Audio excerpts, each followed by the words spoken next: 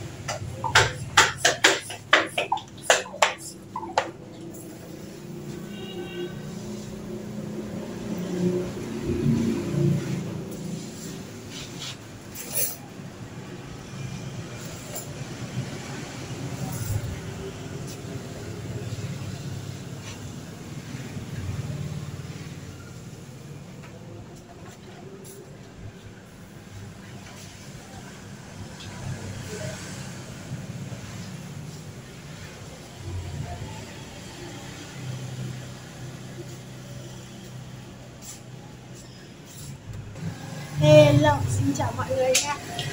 À, Mọi người hôm nay có thấy ờ, không gian shop em có gì mới lạ không? Hôm nay shop em đã nhập thêm về rất là nhiều cây cảnh mới và xanh tốt. Chẳng hạn như là cây hạnh phúc này, cây uh, ờ, bạn niên này và cây hoa chuối đỏ. Uh, Thêm uh, một số cây mới như là cây bạch mã đây. Hôm nay em sẽ cho mọi người xem cây mới của nhà em. Rất là đẹp luôn cây bạch mã. Cây này à, tên là cây à, bạch mã hoàng tử. Cây bạch mã hoàng tử này thì à, là loại cây thân thảo và có nguồn gốc từ các nước ở châu Á. Châu Á như còn ở Việt Nam ấy thì uh, mọi người có thể bắt gặp ở rất là nhiều nơi ở mọi vùng miền bởi vì uh, cây này sống à, dễ sống này dễ thích nghi với nhiều môi trường sống và đặc biệt là rất là dễ chăm sóc. Ngoài ra thì uh, cây bạch mã hoàn tử này còn có dáng thẳng đứng và chiều cao từ uh, tầm từ 60 cho đến 1 mét. 60 đến 1 mét đây trong xem.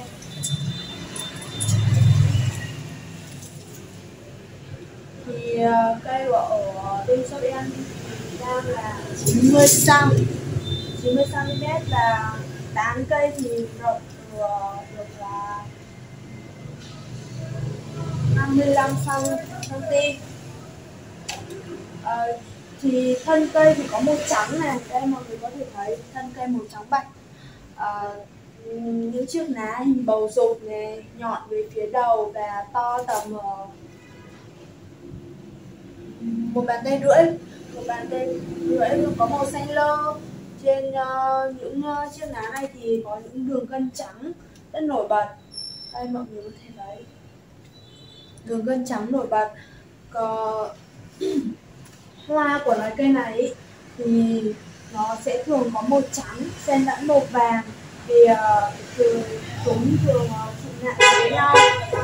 Cây này uh, đang là đang là non thì chưa ra hoa.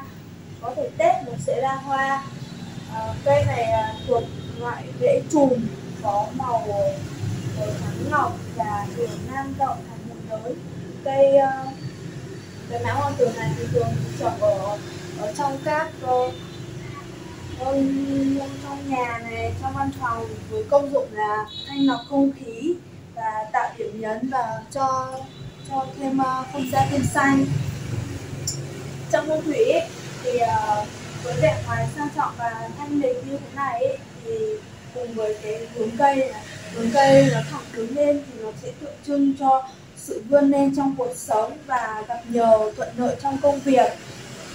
Còn ngoài đồng thời ngoài cái vẻ đẹp để trang trí ra thì cây bạch mã hoàng tử còn có tác dụng là để uh, đem lại những năng lượng tích cực này, sự ờ, thoải mái và suy đoán may mắn trong ờ, cuộc sống lẫn công việc cho gia chủ.